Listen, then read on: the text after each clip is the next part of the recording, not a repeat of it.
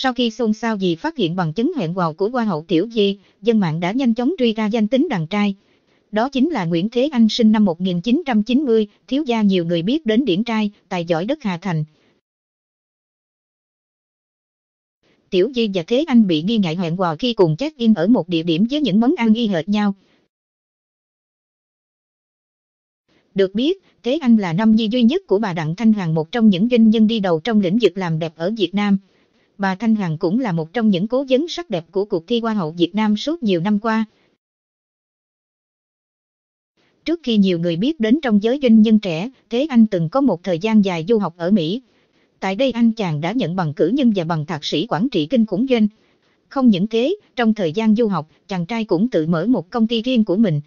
Hiện tại, Thế Anh là keo của một công ty chuyên kinh khủng doanh cống phẩm làm đẹp và chú tâm sức khỏe cao cấp. Khi cần lịch lãm, Thế Anh có lịch lãm.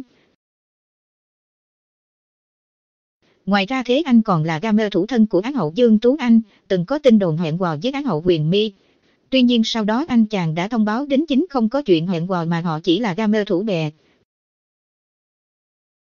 Thế nhưng Rofiller cũng đó không phải là tất cả về chàng trai nhà giàu này bởi thế anh còn chiếm hữu hình thức điển trai như hot boy, body sáu múi và đẳng cấp thời trang cực ngầu. Trên trang cá nhân của Thế Anh, không khó để nhận ra đây là một anh chàng mê du lịch, mê thể thao. Khi cần ngầu, Thế Anh có ngầu. Thế Anh thích chơi thể thao, khác biệt là bóng rổ và bóng đá. Body sáu muối cực phẩm của Thế Anh